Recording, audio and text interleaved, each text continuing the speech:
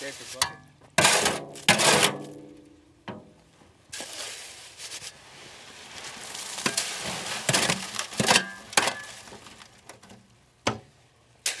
at least one more bag, I think. I don't know, it's close. Maybe not.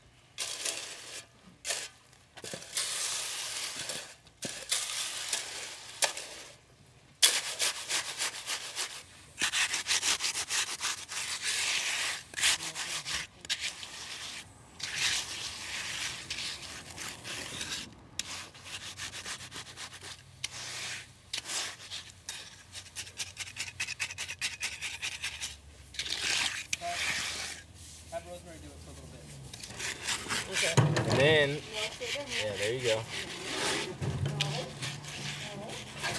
You want to get that all that with a nice wet wet cap over it. Now then, see how see how all this is like high. Uh-huh. You want to just take it and you want to float it and work it back and forth like you're rolling dough. Okay.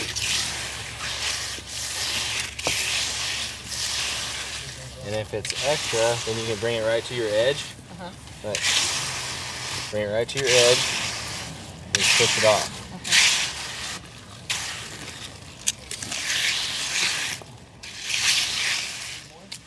What I have here is a half inch bullnose trowel. And what this does is it, it puts a beveled edge all the way around the edge of the concrete, all the way around the pond. Okay, what you're gonna do is you're gonna set it in there, work it in between the bender board and the concrete. You're gonna work it up, go back and forth, and you're gonna get some build up right here. Don't worry about that, slough it off, and keep working your way around. Float the top, push it down a little bit more, and it gives it a nice smooth edge all the way around.